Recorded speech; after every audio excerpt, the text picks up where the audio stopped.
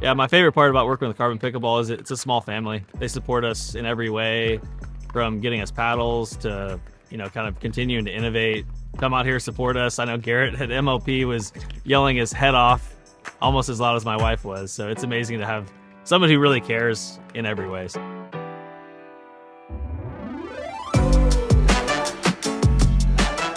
My name's Thomas Wilson. Favorite part about pickleball is I get to stay active and compete like I used to back in the day, so it's kind of a second chance to do something cool again. For me, in a partner like Viv, it's huge for me to have somebody that supports me and doesn't roll their eyes when I do something stupid, which I often do. I don't want to be by myself out there. That was my whole life with tennis. Just want to play with a teammate. She just laughs, we laugh together. So it's just fun to compete with her out there. Working with Carbon is so easy. They collaborate on stuff, so it's it's been super easy actually. Carbon pickleball paddles been one of the best for a while now. They have really good spin. They're a solid paddle. Like I said earlier, continuing to innovate. Power Series came out this year, uh, and he's I know he's got some other stuff in the pipeline. So it's an amazing company. Coming soon is my signature paddle.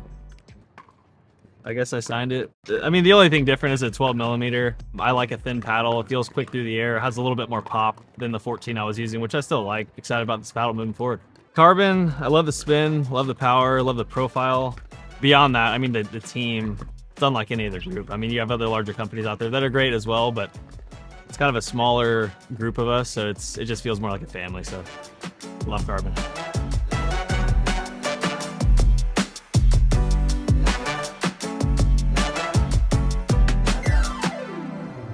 I mean, I don't know, like that's so broad. It's like, well, I like chocolate chip cookies.